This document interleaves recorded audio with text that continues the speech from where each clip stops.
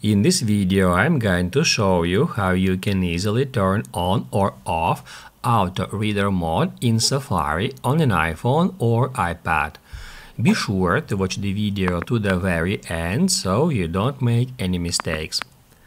By default, if we open up Safari web browser and if we go to some web page, it opens up in a regular mode and to switch it to reader mode, we need to touch and hold our finger at that icon and that will turn the web page to reader mode.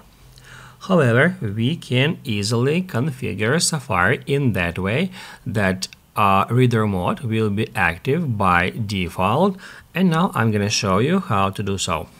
So guys, first off we need to head over to settings then scroll down and get into Safari. That's where we need to search for reader. I can't find it for some reason. Oh, here it is.